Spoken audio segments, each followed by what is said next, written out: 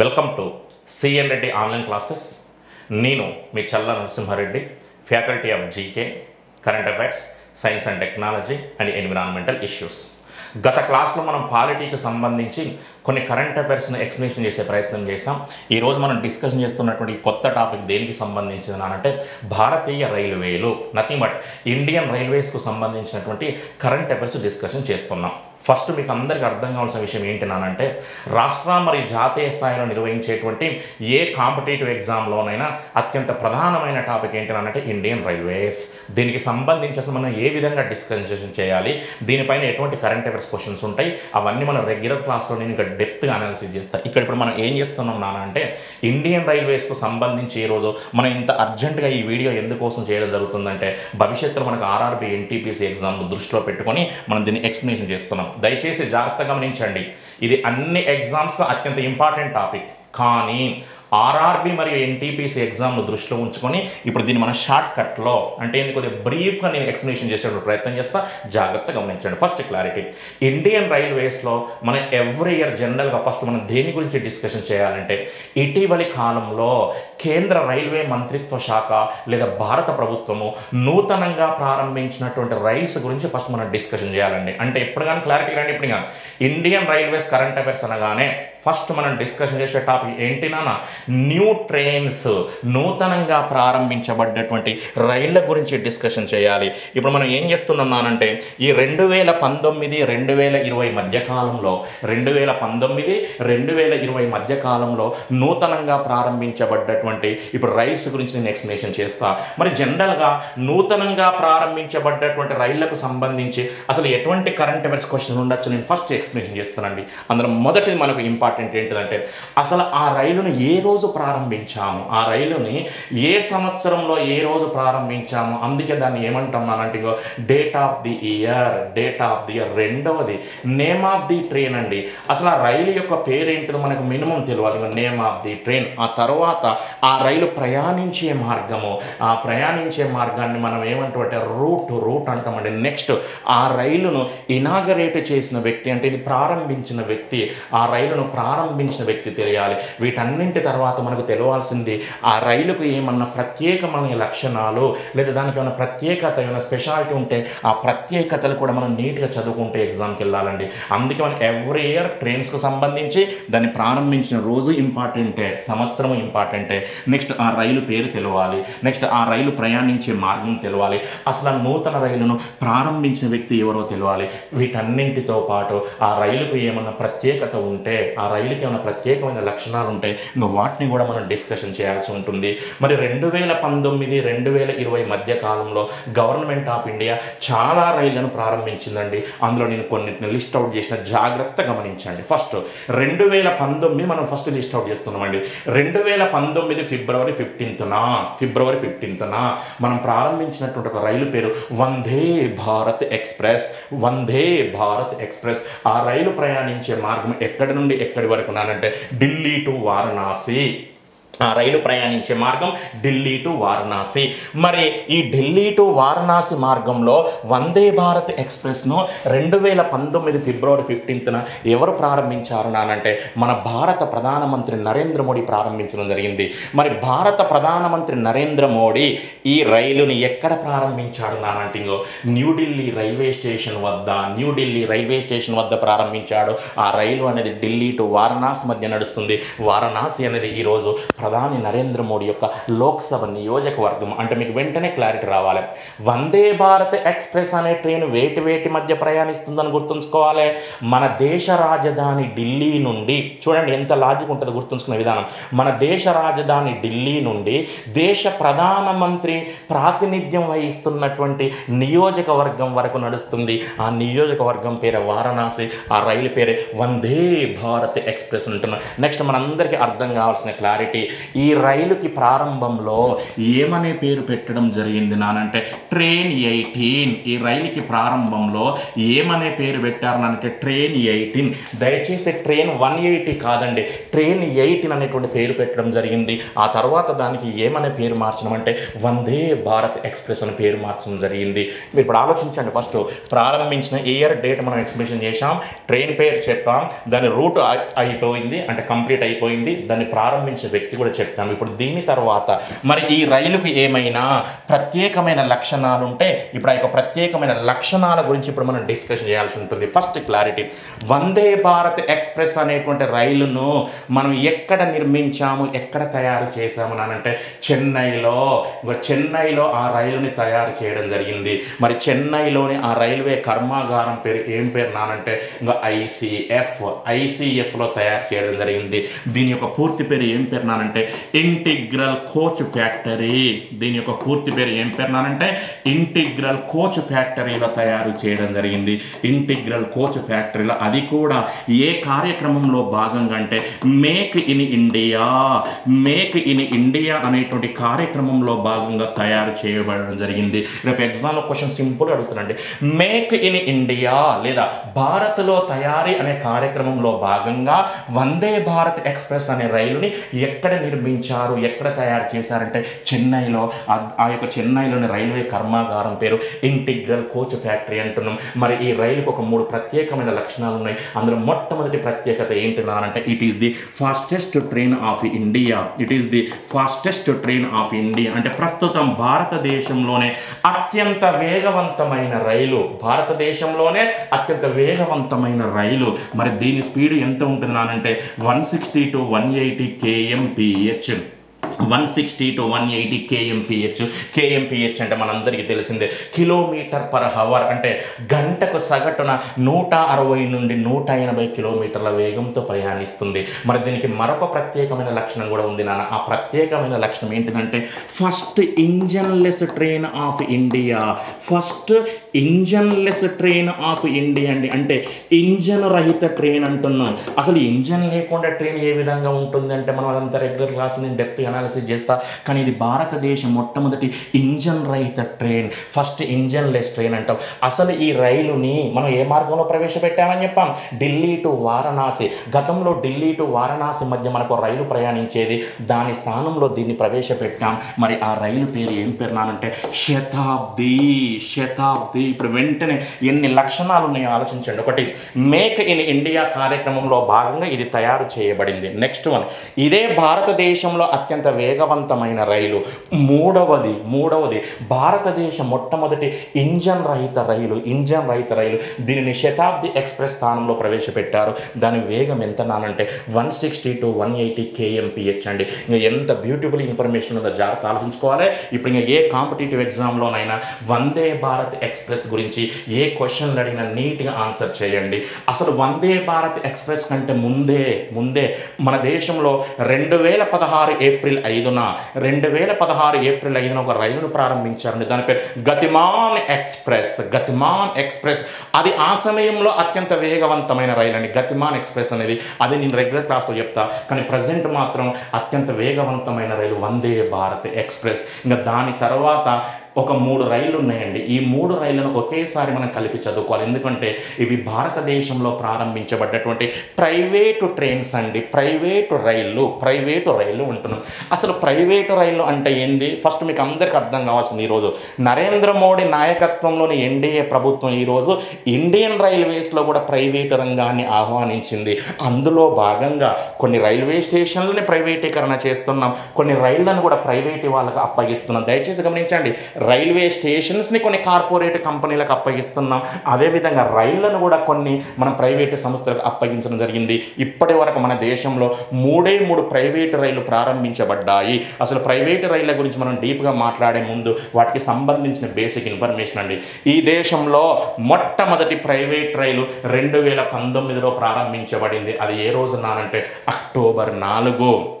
October నాలుగు రెండు వేల పంతొమ్మిది.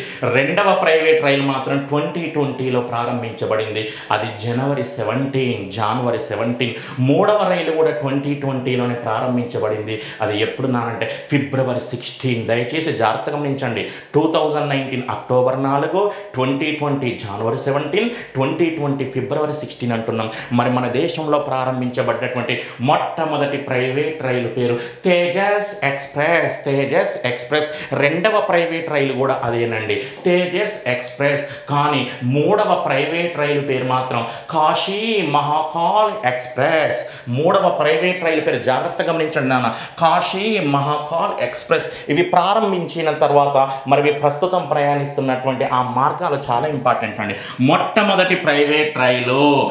అది ప్రయాణించిన మార్గం అండి. లక్నో టు న్యూఢిల్లీ లక్నో టు న్యూఢిల్లీ మరి రెండవ ప్రైవేట్ రైలు ప్రారంభించిన మార్గము ముంబై టు అహ్మదాబాద్. మీకు అందరు తెలుసు ఈరోజు ఇదే ముంబై టు అహ్మదాబాద్ మార్గంలో ఈరోజు ఈ దేశంలోనే మొట్టమొదటి బుల్లెట్ రైలు మార్గాన్ని కూడా నిర్మిస్తున్నాం జపాన్ దేశ సహకారంతో. ఆ జపాన్ దేశ సహకారంతో నిర్మిస్తున్నటువంటి ఈ మొట్టమొదటి బుల్లెట్ రైలుకు సంబంధించినటువంటి ఆ బుల్లెట్ ట్రైన్ యొక్క ఒక ఇమేజ్ని ఒక చిత్రాన్ని ఈ రెండు వేల ఇరవై డిసెంబర్లో జపాన్ ఎంబసీ అంటే జపాన్ కార్యాలయం విడుదల చేయడం జరిగింది. అదంతా నేను బుల్లెట్ ట్రైన్స్ దగ్గర నేను మీకు మీకు నేను నీట్ ఎక్స్ప్లెనేషన్ చేస్తున్నా. అంటే ఇక్కడ మీకు లాజిక్ ఏందో జాగ్రత్త గమనించండి. దేశంలో మొట్టమొదటి బుల్లెట్ రైలు మొట్టమొదటి బుల్లెట్ ట్రైన్ ఏ మార్గం అంటే ముంబై టు అహ్మదాబాద్. అదే ముంబై టు అహ్మదాబాద్ మధ్య. మరి తేజస్ ఎక్స్ప్రెస్ కూడా ప్రస్తుతం ప్రయాణిస్తుంది. ఇది భారతదేశ రెండవ ప్రైవేట్ రైలు అంటున్నాం. ఇప్పుడు మూడవ ప్రైవేట్ రైలు పేరు కాశీ మహాకాల్ ఎక్స్ప్రెస్ అంటున్నాం. ఇది ప్రయాణించే మార్గము వారణాసి టు ఇండోర్ వారణాసి టు ఇండోర్. మూడు ప్రైవేట్ రైళ్ళు ప్రారంభించినటువంటి డేట్స్ అండ్ ఇయర్స్ అవి ప్రయాణించే మార్గాలు. మరి ప్రారంభించిన వ్యక్తులండి. ఫస్ట్ దేశ మొట్టమొదటి ప్రైవేట్ రైలు అయిన తేజస్ ఎక్స్ప్రెస్ని రెండు వేల పంతొమ్మిది అక్టోబర్ నాలుగున ఎక్కడ ప్రారంభించబడింది అంటే లక్నో వద్ద. మరి లక్నో వద్ద ప్రారంభించింది ఎవరు నా అంటే ఉత్తరప్రదేశ్ ముఖ్యమంత్రి యోగి ఆదిత్యనాథ్. యోగి ఆదిత్యనాథ్. ఎంత ఇంట్రెస్టింగ్ ఆలోచించండి. సార్ క్వశ్చన్ ఎందుకు అడగచ్చు? ఆలోచించండి. మొట్టమొదటి ప్రైవేట్ రైల్ అండి ఇండియాలో యాక్చువల్గా రాష్ట్రపతి ప్రారంభించవచ్చు ఉపరాష్ట్రపతి ప్రారంభించవచ్చు లేకపోతే దేశ ప్రధానమంత్రి ప్రారంభించవచ్చు లేదా కేంద్ర రైల్వే శాఖ మంత్రి ప్రారంభించవచ్చు కానీ వాళ్ళందరూ కాకుండా దేశ మొట్టమొదటి రైలు ఉత్తరప్రదేశ్ ముఖ్యమంత్రి లక్నో వద్ద ప్రారంభించాడు ఆ మహానుభావుని పేరు యోగి ఆదిత్యనాథ్. యోగి ఆదిత్యనాథ్. మరి రెండవ ప్రైవేట్ రైలు పేరు కూడా తేజస్ ఎక్స్ప్రెస్ అన్నాం. అది ముంబై టు అహ్మదాబాద్ మధ్య ప్రయాణిస్తుందని చెప్పినాం. ఇది ఎక్కడ ప్రారంభించబడిందంటే అహ్మదాబాద్. ఇది అహ్మదాబాద్ మధ్య ప్రారంభించబడింది. మరి ప్రారంభించిన వ్యక్తి ఎవరినానంటే గుజరాత్ రాష్ట్ర ముఖ్యమంత్రి విజయ్ రూపానీ. విజయ్ రూపానీ అంటే వెంటనే క్లారిటీకి రావాలి.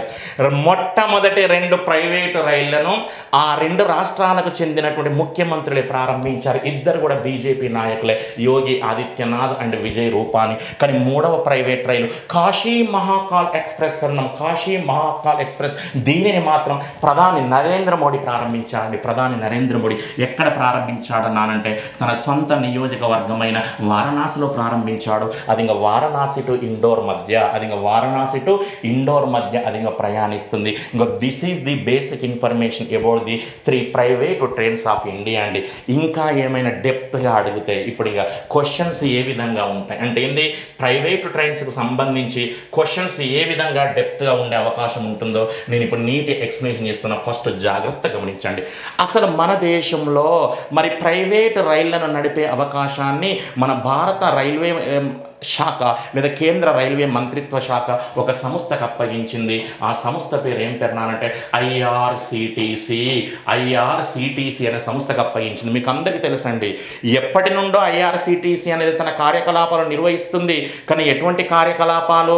రైల్వేలకు సంబంధించినటువంటి టూరిజం యాక్టివిటీస్ లేదా రైల్వేలకు సంబంధించిన క్యాటరింగ్ అండి. ఎప్పుడైనా మీరు రైళ్ళలో ప్రయాణించేటప్పుడు చూడండి మనకు సంబంధించిన ఆహార పదార్థాలు మొత్తం ఎవరు సప్లై చేస్తారంటే ఐఆర్సిటీసీ వాళ్ళు. అంటే ఐఆర్సిటీసీ అనేది మనకు అది కొత్త సంస్థ కాదండి. ఎప్పుడో గతంలోనే ఏర్పాటు చేయబడినటువంటి ఒక ప్రైవేటు సంస్థ వెంటనే ఇప్పుడు క్లారిటీకి రావాలి.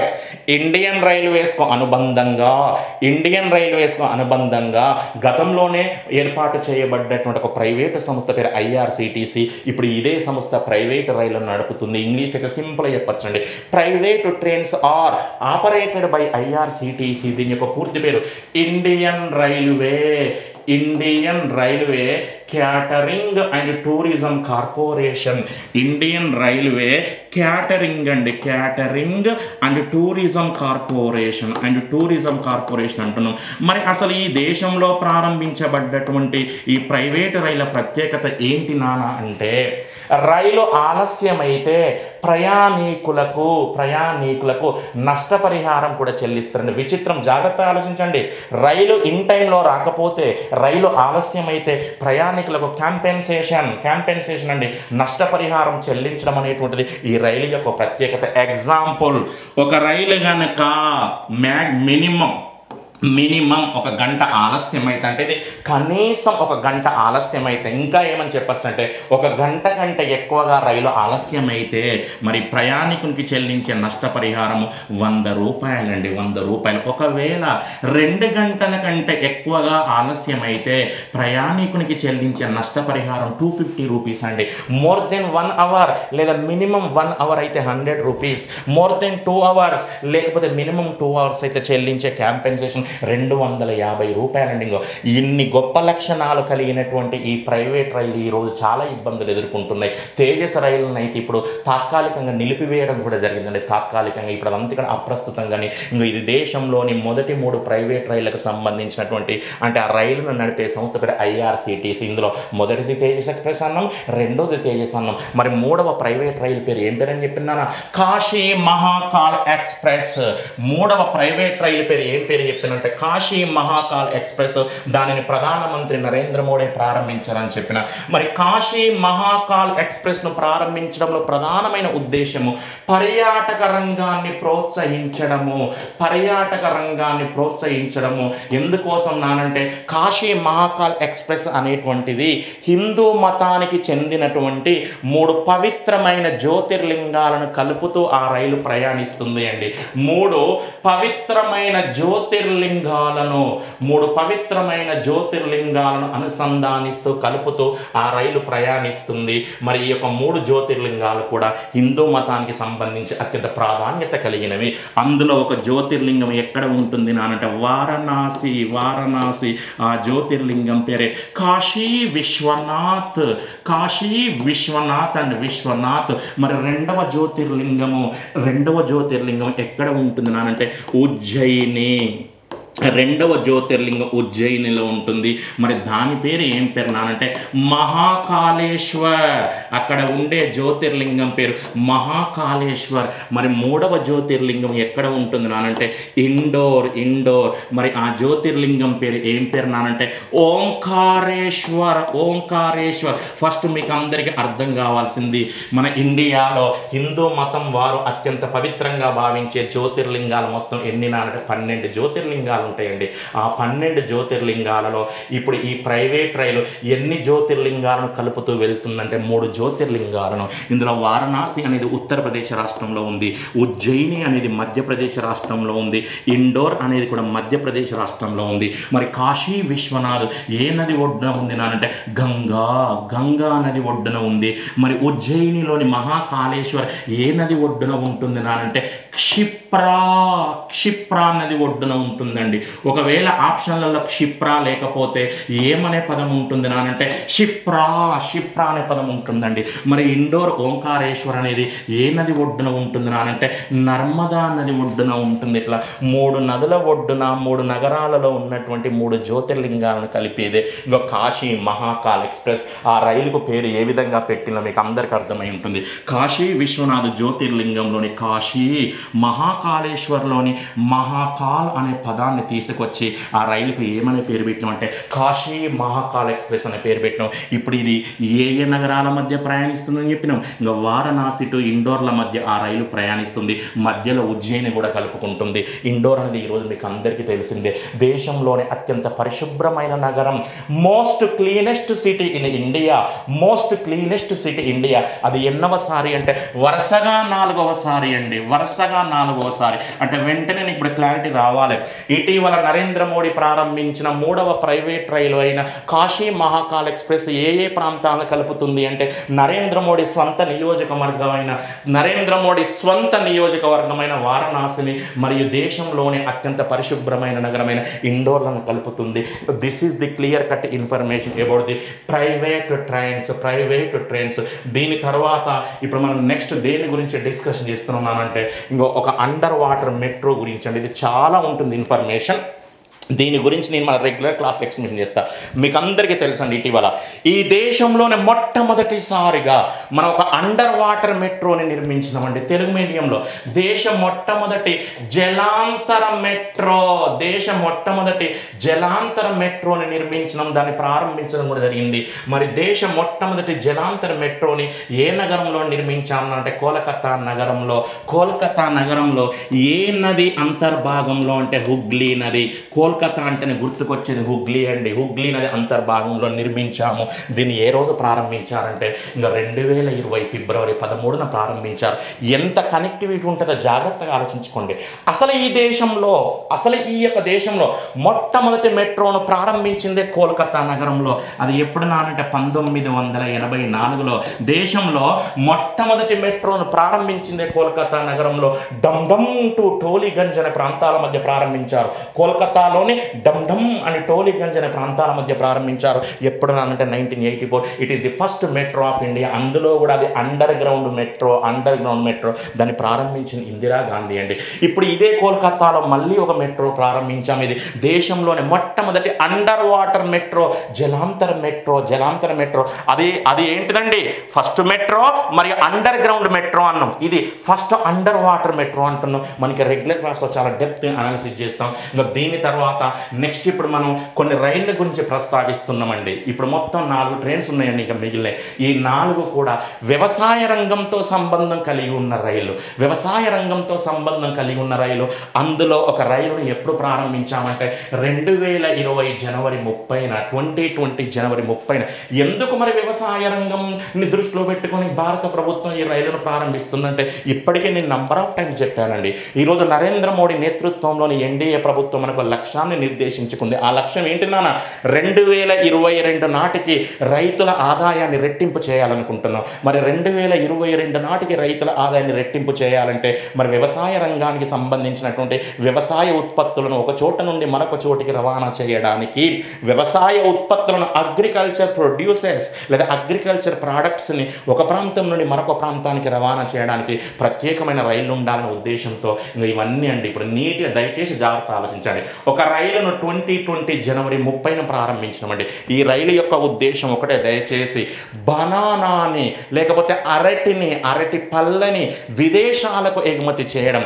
మరి అరటి పళ్ళను విదేశానికి ఎగుమతి చేయడం కోసం ప్రారంభించిన ట్రైన్ కాబట్టి మనం దీన్ని సింపుల్గా మనం ఏమని చెప్పచ్చు అంటే బనానా ట్రైన్ బనానా ట్రైన్ అని చెప్పచ్చు అండి లేకపోతే ఇంకా దీన్ని మనం ఏమని చెప్పచ్చు అంటే ఫ్రూట్ ట్రైన్.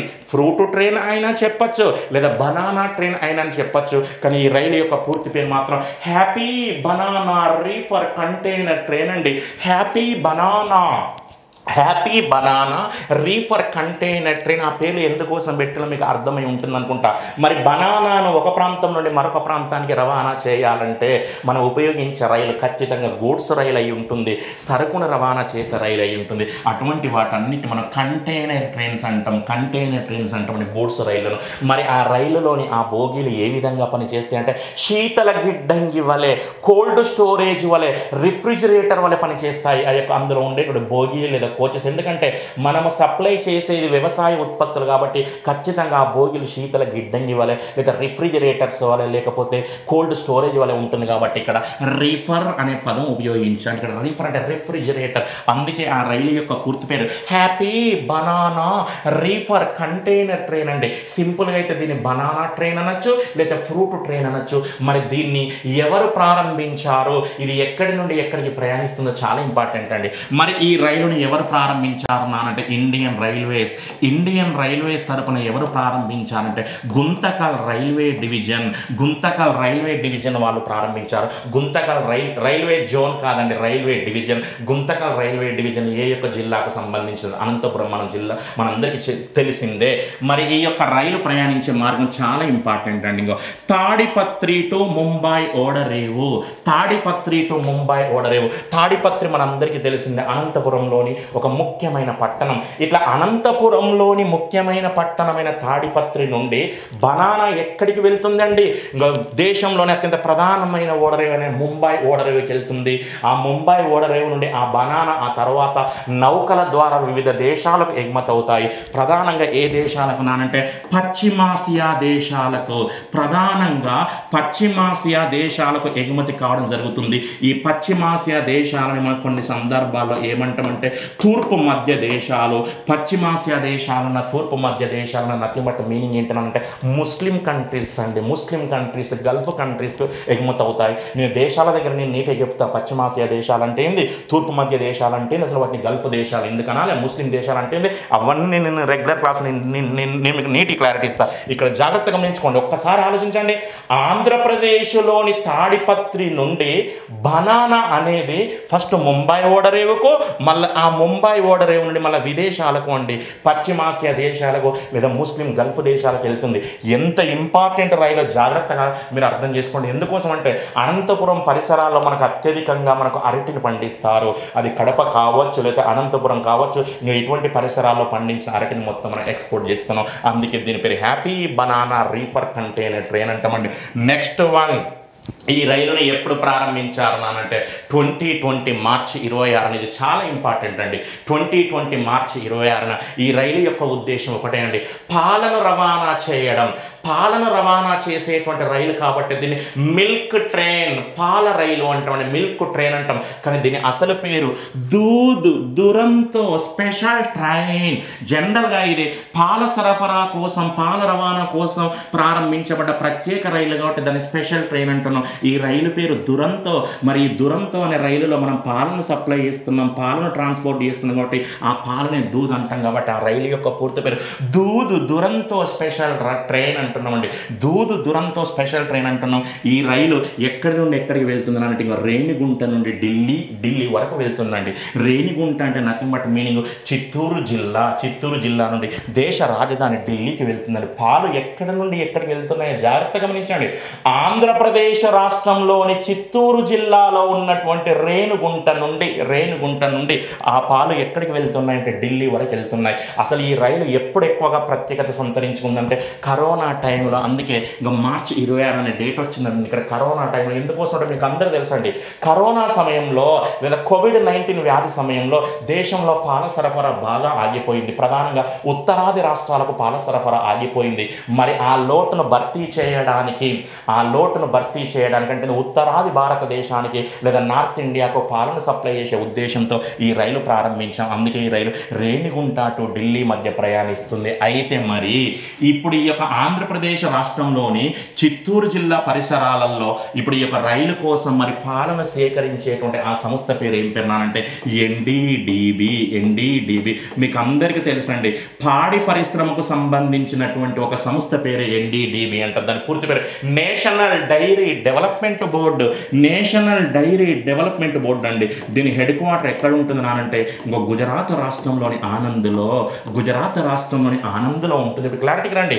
గుజరాత్ భారత రాష్ట్రంలోని ఆనంద్లో ఉన్నటువంటి ఒక ప్రభుత్వ రంగ సంస్థ పేరు నేషనల్ డైరీ డెవలప్మెంట్ బోర్డు. ఇప్పుడు ఈ నేషనల్ డైరీ డెవలప్మెంట్ బోర్డు ఇంకా చిత్తూరు జిల్లా పరిసరాలలో వివిధ సహకార సంస్థల ద్వారా సేకరించిన పాలను ఇంకా రేణిగుంట రైల్వే స్టేషన్ ఢిల్లీకి సప్లై చేస్తుంది. ట్వంటీ ట్వంటీ నవంబర్ నాటికి.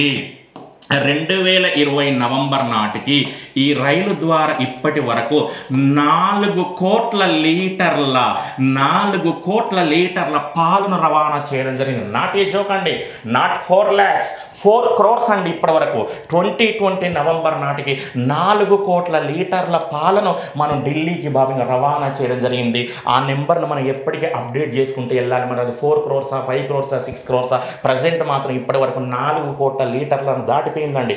నాలుగు కోట్ల లీటర్లకు పైగా ఏబో ఫోర్ క్రోర్స్ లీటర్స్ అండి. ఇంకా పాలను మనం ఇంకా రవాణా చేయడం జరిగింది. ఒక్కసారిగా ఇంకా ఇదంతా కూడా దీనికి సంబంధించిన బేసిక్ ఇన్ఫర్మేషన్. ఇంకా దీని తర్వాత ఇప్పుడు మనం నెక్స్ట్ మనకు రెండు రైళ్ళ గురించి ప్రస్తావిస్తున్నాం ఈ రెండు రైళ్ళు కూడా కిసాన్ రైళ్ళు అండి కిసాన్ రైలు నేను ఫస్ట్ అసలు కిసాన్ రైలు అంటే ఏంటి?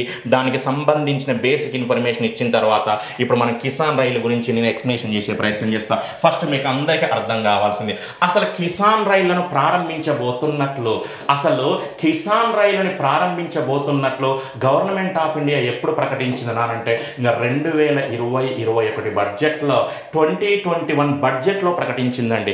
ఎందుకోసం ప్రకటించిందని నేను ఇంతకుముందుకే చెప్పిందండి దయచేసి రెండు వేల ఇరవై రెండు నాటికి రైతుల ఆదాయాన్ని రెట్టింపు చేయడానికి ప్రభుత్వం చేపట్టే చర్యల్లో భాగంగా ఒక చర్యనే వ్యవసాయ రంగానికి ఒక ప్రత్యేకమైన రైలు ఉండాలి. నేను ఇంతమందికే చెప్పినండి. బనానా ట్రైన్ అనేది అది రెగ్యులర్ ట్రైన్ కాదండి. It is a special train దూదు Duronto express కూడా అది రెగ్యులర్ ట్రైన్ కాదండి. అది కూడా స్పెషల్ ట్రైన్ కానీ వ్యవసాయ ఉత్పత్తుల రవాణా కోసం ఒక రెగ్యులర్ ట్రైన్ ఉండాలి. ప్రత్యేకంగా ఎప్పటికీ రెగ్యులర్ ట్రైన్ ఉండాలన్న ఉద్దేశంతో మేము కిసాన్ రైళ్ళను ప్రారంభించబోతున్నట్లు రెండు వేల ఇరవై ఇరవై ఒకటి బడ్జెట్లో నరేంద్ర మోడీ ప్రభుత్వం ప్రకటించింది. దీనికి అనుగుణంగా కిసాన్ రైళ్ళను రెండు వేల ఇరవైలోనే ప్రారంభించింది. ఇది ఎప్పటికీ చరిత్రలో నిలిచిపోయేటువంటి బిట్ అండి ఇది. ఏ బడ్జెట్లో కిసాన్ రైళ్ళ ప్రస్తావన తెచ్చిందంటే ట్వంటీ ట్వంటీ వన్ బడ్జెట్లో. ఈ రైళ్ళను ప్రారంభించడానికి ప్రధానమైన ఉద్దేశం ఒకటేనండి జాగ్రత్త గమనించండి. అతి త్వరగా పాడైపోయే వ్యవసాయ ఉత్పత్తులను జాగ్రత్త గమనించండి. అతి త్వరగా పాడైపోయే వ్యవసాయ ఉత్పత్తులను ఈ భారతదేశంలో ఒక ప్రాంతం నుండి మరొక ప్రాంతానికి రవాణా చేసేందుకై ప్రారంభించబడ్డ రైలు పేరు కిసాన్ రైలు. అన్ని అన్ని వ్యవసాయ ఉత్పత్తులు కాదండి అతి త్వరగా పాడైపోయే స్వభావం ఉన్న వ్యవసాయ ఉత్పత్తులు. ఇంగ్లీష్లో మనం ఏమంటామంటే పెరిషబుల్ గూడ్స్ అంటాం పెరిషబుల్ గూడ్స్ అంటాం. మరి అతి త్వరగా పాడైపోయే లక్షణాలు ఉన్నటువంటి వ్యవసాయ ఉత్పత్తులు ఏమేమి ఉన్నాయో ఒక రెండు మూడు ఎగ్జాంపుల్స్ రాస్తే మీకు అందరికీ అర్థమవుతుందండి. అందులో ప్రధానమైనది పాలు నెక్స్ట్ రెండవ ప్రధానమైనది మాంసము మాంసంలో కూడా అత్యంత ప్రధానమైనది ఫిష్ అండి. ఆ తర్వాత ఫ్రూట్స్ ఆ తర్వాత బాబు ఇంకో ఫ్రూట్స్ అండి ఇంకో. ఆ తర్వాత వెజిటేబుల్స్ వెజిటేబుల్స్ ఈ విధంగా అతి త్వరగా పాడైపోయే స్వభావం ఉన్నటువంటి ఇటువంటి వ్యవసాయ ఉత్పత్తులను ఒక ప్రాంతం నుండి మరొక ప్రాంతానికి తరలించేది అవసరమైతే ఫ్లవర్స్ కూడా అండి. అవసరమైతే బాబు ఇంకా ఫ్లవర్స్ కూడా. బాబు ఇంకా వీటన్నిటిని ఒక ప్రాంతం నుండి మరొక ప్రాంతానికి తరలించే ఉద్దేశంతో ఇంకా ప్రారంభించబడింది కిసాన్ రైలు. కిసాన్ రైలు మరి గవర్నమెంట్ ఆఫ్ ఇండియా ఏ విధంగా ప్రారంభించిందంటే ప్రభుత్వ ప్రైవేటు భాగస్వామ్యంతో ప్రభుత్వ ప్రైవేటు భాగ భాగస్వామ్యంతో పీపీపీ అంటామండి. పబ్లిక్ ప్రైవేటు పార్టిసిపేషన్ ఇది కూడా ఉంటుంది ఆప్షన్లో ప్రభుత్వ ప్రైవేటు భాగస్వామ్యంతో ప్రారంభించడం జరిగింది. మరి కిసాన్ రైలు కూడా ఏ విధంగా పనిచేస్తుందంటే శీతల గిడ్డంగి వలె అంటే కోల్డ్ స్టోరేజ్ అండి. శీతల గిడ్డంగి వలె పనిచేస్తుంది. అంటే కిసాన్ రైలులోని బోగీలు లేదా కోచ్లు కూడా ఏ విధంగా ఉంటాయంటే రిఫ్రిజిరేటర్స్ మాదిరిగా లేదా శీతల గిడ్డంగి మాదిరిగా ఉంటాయి. ఇంకా this is the basic information about the Kisan trains మన అవసరమైతే ఇంకా రెగ్యులర్ క్లాస్లో చాలా డీప్గా ప్రస్తావిద్దాం. ఇప్పటివరకు ఈ యొక్క ఇన్ఫర్మేషన్ సరిపోతుంది. ఇక్కడ కొన్ని ఒక చిన్న అంశాన్ని యాడ్ చేస్తున్నాను ఒక చిన్న అంశాన్ని. ఇటువంటి పని కోసం గతంలో గవర్నమెంట్ ఆఫ్ ఇండియా ఒక కార్యక్రమాన్ని ప్రారంభించిందండి. అతి త్వరగా పాడైపోయేటువంటి వ్యవసాయ ఉత్పత్తులను దృష్టిలో పెట్టుకొని ఆ ప్రోగ్రాం పేరే ఆపరేషన్ గ్రీన్స్.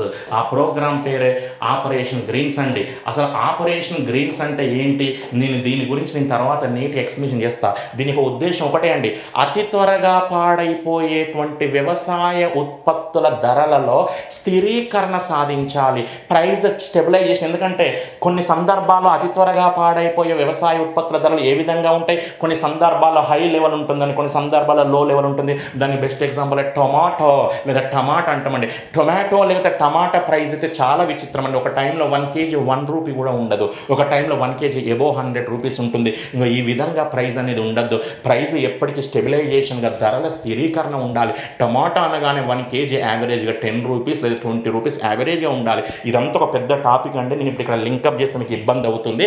కానీ అదే అదే లక్ష్యానికి సంబంధించి మరొక ప్రోగ్రామ్ పేరు కూడా ఆపరేషన్ గ్రీన్స్. దీన్ని ఇటీవల గవర్నమెంట్ ఆఫ్ ఇండియా జమ్మూ కాశ్మీర్లో కూడా ఇంప్లిమెంట్ చేస్తుంది. అదంతా నేను ఆ టాపిక్ దగ్గర ఎక్స్ప్లెయిన్ చేస్తాను ఇప్పుడైతే కిసాన్ రైలు వరకు రండి.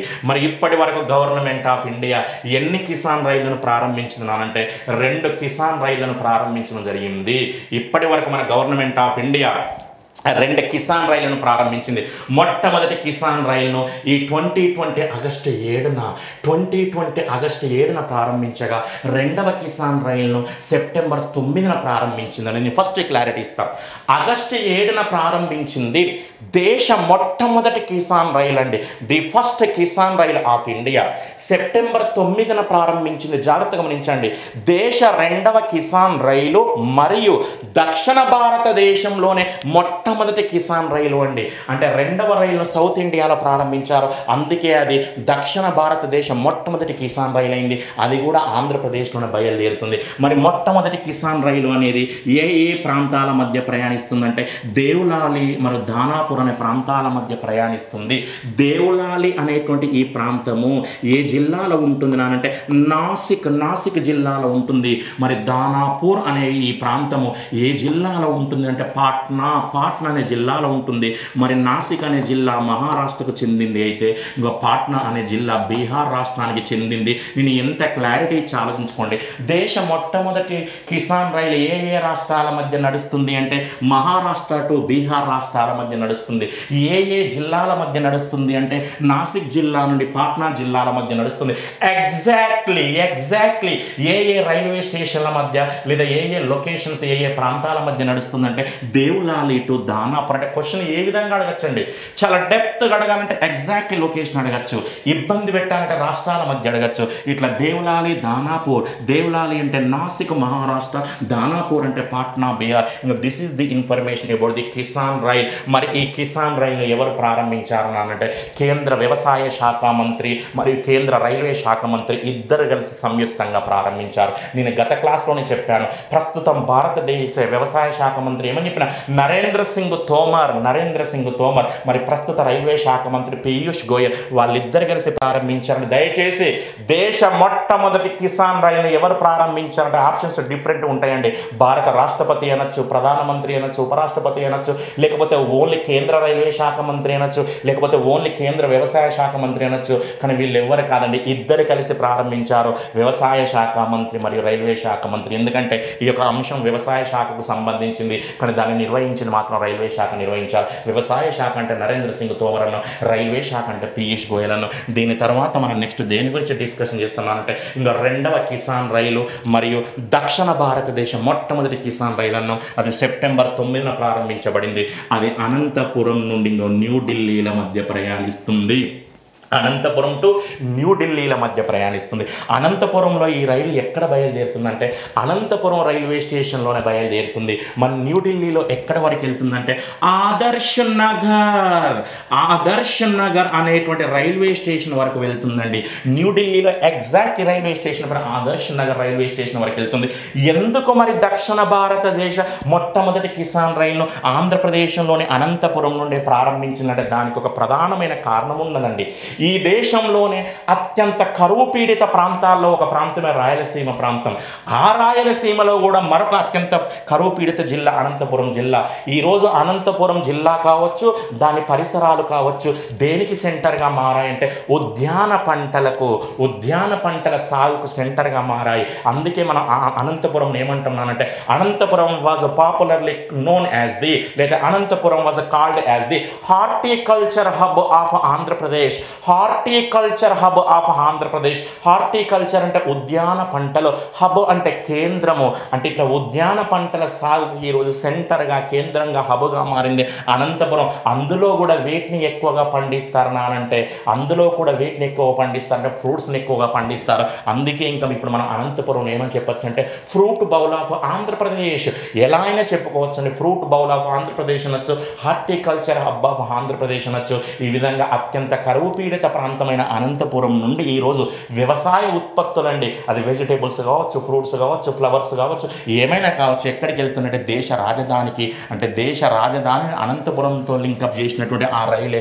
దేశ రెండవ కిసాన్ రైలు. మరి రెండవ కిసాన్ రైలును ఎవరు ప్రారంభించారు అంటే మన ఆంధ్రప్రదేశ్ ముఖ్యమంత్రి వైఎస్ జగన్మోహన్ రెడ్డి మరియు కేంద్ర వ్యవసాయ శాఖ మంత్రి నరేంద్ర సింగ్ తోమర్. ఈ ప్రారంభోత్సవంలో రైల్వే శాఖ మంత్రి పీయూష్ గోయల్ పాల్గొనలేదు. మళ్ళొక్కసారి నేను క్లియర్ కట్ ఇన్ఫర్మేషన్ ఇస్తున్నా. ఆంధ్రప్రదేశ్ ముఖ్యమంత్రి వైఎస్ జగన్మోహన్ రెడ్డి కేంద్ర వ్యవసాయ శాఖ మంత్రి నరేంద్ర సింగ్ తోమర్ ఇద్దరు కలిసి వీడియో కాన్ఫరెన్స్ ద్వారా ఈ రైలును ప్రారంభించడం జరిగింది. ఇవన్నీ ఇన్ఫర్మేషన్స్ ఇచ్చిన తర్వాత మీకు లింకప్ అర్థం కావాలండి ఆ లింకప్ ఏందో జాగ్రత్తగా గమనించండి ఇప్పుడు వ్యవసాయ రంగంతో ముడిపడి ఉన్నటువంటి ఈ నాలుగు రైళ్ళలో ఎక్కువగా గవర్నమెంట్ ఆఫ్ ఇండియా ఏ రాష్ట్రానికి ప్రాధాన్యత ఇచ్చిందంటే ఆంధ్రప్రదేశ్ రాష్ట్రానికి అత్యధిక ప్రాధాన్యత ఇచ్చిందండి. బనానా ట్రైన్ ఆంధ్రప్రదేశ్ నుండే ప్రారంభమవుతుంది. దూదు దురంతో ట్రైన్ కూడా ఆంధ్రప్రదేశ్ నుండి ప్రారంభమవుతుంది. రెండవ కిసాన్ రైలు కూడా ఆంధ్రప్రదేశ్ నుండే ప్రారంభమవుతుంది. ఇందులో కూడా ఎక్కువగా మళ్ళీ ఏ ప్రాంతానికి ఎక్కువగా ఇంపార్టెన్స్ ఇచ్చిందంటే అత్యంత కరువు పీడిత ప్రాంతమైన రాయలసీమకు బనానా రైలు ప్రారంభమైంది. అనంతపురం నుండి తాడిపత్రి అన్నం. మరి దూదు దురంతో లేదా మిల్క్ ట్రైన్ ప్రారంభమైంది చిత్తూరులోని రేణుగుంట అన్నం. ఆ తర్వాత రెండవ కిసాన్ రైలు ప్రారంభమైంది అనంతపురం నుండి అన్నాం. అంటే this is the important importance of the Narendra Modi అండి. అత్యంత కరువు పీడిత ప్రాంతమైనటువంటి ఈ రాయలసీమ ప్రాంతానికి ఏదో చేయాలి అనేటువంటి ఉద్దేశంతో ఎక్కువగా ఇంకా ఆ ప్రాంతానికి ఇంపార్టెన్స్ ఇస్తూ ఇంకా ఇటువంటి వ్యవసాయ రంగ సంబంధిత రైళ్ళను ప్రారంభించడం జరిగింది. ఇంకా నాన్న ఇంకా this is the clarity about the new trains of Indian railways అండి. ఎంత అద్భుతమైన క్లారిటీ ఇచ్చానో జాగ్రత్త గమనించండి. ఇప్పుడు ఇవి మీరు గుర్తుంచుకోవాల్సిన బాధ్యత మీది. మరి ఏ విధంగా గుర్తుంచుకోవాలి? ఎంతసేపు లాజికల్గా ఆలోచించానండి ఏ విధంగా గుర్తుంచుకోవచ్చు? మనకి ఏమైనా లాజిక్స్ ఉంటాయా? ప్రతిదానికి మనం అయితే మనం బట్టలు పట్టలేమండి. బట్టీలు పట్టలేము. ప్రతిదానికి మనకు పనికిరాని క్లూస్ కూడా ఎన్నో ఎన్నడూ కూడా మనకు అవకాశం ఉండదు. ఎందుకంటే చాలామంది ఎక్కువగా పనికిరాని క్లూస్ లేదు క్లూస్ క్రియేట్ చేస్తారు. ఆ పనికి రానటువంటి క్లూస్ కూడా ఈరోజు కాంపిటేటివ్ ఎగ్జామ్లో పనికి రావండి మనం ఏం చేయాలి? తెలిసిన దానితో తెలియని వాటిని లింకప్ చేయాలి. తెలిసిన వాడితో తెలియని వాటిని లింకప్ అంటే జాగ్రత్త ఆలోచించండి. గతంలో మనకైతే కాంపిటేటివ్ ఎగ్జామ్లో జనరల్ స్టడీస్ పైన కొద్ది నాలెడ్జ్ ఉన్నది. దానిని వీడితో లింకప్ చేసి మనం గుర్తుంచుకోవాలి. ఏ విధంగా గుర్తుంచుకోవచ్చో జాగ్రత్తగా గమనించండి ఇప్పుడు. మొట్టమొదటి కిసాన్ రైలు ఆగస్టు ఏడున ప్రారంభించబడింది అన్నాం. ఆ డేట్ మనకు చరిత్రలో ఉంటుంది. మరి ఆ డేట్ నువ్వు లైఫ్లో మర్చిపోవద్దు. మన గతంలో ఏమైనా తెలిసి ఉంటే మనం దీన్ని లింకప్ చేసుకోవాలి. ఆగస్టు ఏడు మన అందరికీ తెలిసిందే అండి. నరేంద్ర మోడీ ప్రధానమంత్రి అయిన తర్వాత ఆగస్టు ఏడున ఏ దినోత్సవంగా జరుపుతుండంటే జాతీయ చేనేత దినోత్సవము. National handloom day. జాతీయ చేనేత దినోత్సవము నేషనల్ హ్యాండ్లూమ్ డే అంటున్నాం. మరి సెప్టెంబర్ తొమ్మిది సెప్టెంబర్ తొమ్మిదిని ఆంధ్రప్రదేశ్ మరి తెలంగాణ రాష్ట్రాల్లో ఏమని జరుపుకుంటారంటే తెలుగు మాండలిక దినోత్సవము. తెలుగు మాండలిక దినోత్సవం అండి. It is the birthday of the ప్రముఖ రచయిత అయినటువంటి మహానుభావుడు కాళోజీ నారాయణరావు గారు. కాళోజీ నారాయణరావు అంతేకాదండి. ఇదే సెప్టెంబర్ తొమ్మిదిని ఓన్లీ తెలంగాణ రాష్ట్రంలో ఏమని జరుపుకుంటారంటే తెలంగాణ భాష దినోత్సవం తెలంగాణ లాంగ్వేజ్ డే. దయచేసి కన్ఫ్యూజన్ కావద్దండి. రెండు తెలుగు రాష్ట్రాలలో అయితే తెలుగు మాండలిక దినోత్సవం తెలుగు మాండలిక దినోత్సవం. కానీ ఒక్క తెలంగాణ ప్రాంతంలో అయితే తెలుగు భాష దినోత్సవం అంటూ అంటే వెంటనే ఇప్పుడు నీకు క్లారిటీ రావాలి. దేశ మొట్టమొదటి కిసాన్ రైలును దేశ మొట్టమొదటి కిసాన్ రైలును ఏ రోజు ప్రారంభించారంటే వెంటనే మనకు గుర్తుండాలి. జాతీయ చేనేత దినోత్సవం రోజు ప్రారంభించారు. ఆ డేట్ ఏంటి ఆగస్టు ఏడు. ఆగస్టు ఏడున ప్రారంభించారు. మరి దేశ రెండవ కిసాన్ రైలును లేదా దక్షిణ భారతదేశ మొట్టమొదటి కిసాన్ రైలును ఏ రోజు ప్రారంభించారంటే తెలంగాణ భాష దినోత్సవం రోజు లేదా తెలుగు మాండలిక దినోత్సవం రోజు. అదే ఏ రోజున అంటే సెప్టెంబర్ తొమ్మిది. అంటే మనకు ఆల్రెడీ తెలిసిన ఇన్ఫర్మేషన్తో తెలియని వాటిని లింకప్ చేసుకుంటూ వెళ్ళాలి. ఫైనల్గా మనందరికీ క్లారిటీ ఉండాలి. బాబు ఇంకా this is the clear cut information about the Indian railways and వాటికి సంబంధించినటువంటి నూతన రైలు. నెక్స్ట్ క్లాస్లో మనం మరొక కొత్త టాపిక్తో కలుద్దాం. Thank you